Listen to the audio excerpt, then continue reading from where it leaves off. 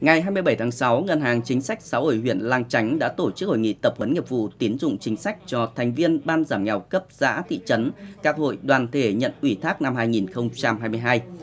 Tham dự hội nghị tập huấn còn có lãnh đạo và cán bộ tín dụng của Ngân hàng Chính sách Xã hội huyện.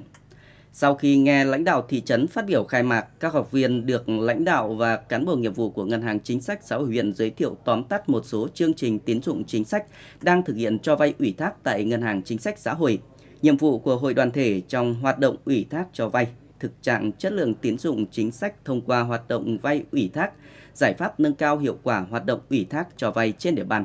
Ngoài ra, các học viên còn được truyền đạt những kiến thức và kỹ năng trong công tác quản lý vốn tín dụng chính sách như nắm bắt chương trình tín dụng ưu đãi đối với hộ nghèo và các đối tượng chính sách khác, các hoạt động ủy thác vay vốn qua hội đoàn thể và tổ tiết kiệm vay vốn.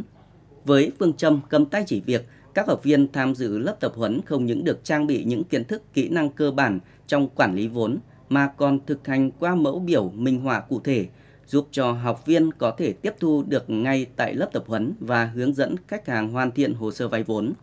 Thông qua buổi tập huấn, các học viên cũng đã được thảo luận và chia sẻ những kinh nghiệm trong công tác tín dụng chính sách, đưa ra những đề nghị về nhu cầu vay vốn ưu đãi của ngân hàng chính sách xã hội để giúp người dân có cơ hội được tiếp cận với nguồn vốn vay phát triển kinh tế, khắc phục những khó khăn, từ đó vươn lên thoát nghèo bền vững, ổn định cuộc sống.